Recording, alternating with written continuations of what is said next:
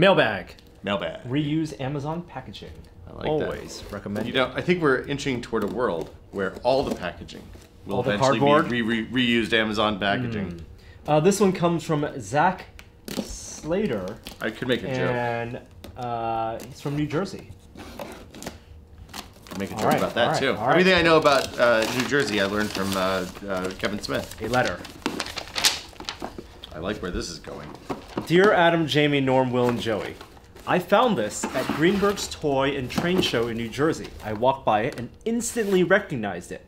I checked online. I knew I not recognized the handle correctly. Or he had recognized the handle correctly, and he bought it from the seller on the spot. And he's sending it to you, us, because not only he remember Adam saying he would love to find the gun again, but because Tested one of his favorite websites. And so what is it? Dun, dun, dun.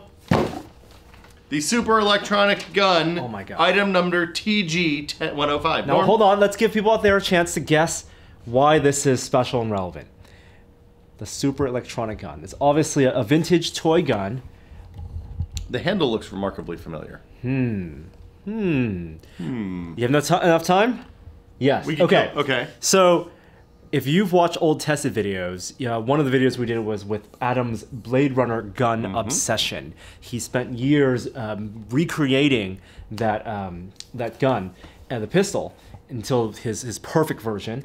But one of the very first replicas he built when he was but a young lad Yes. was based on, I believe, this very pistol. That is, I believe, correct. Yes, we talked about it in the podcast. We talked about the Blade Runner video.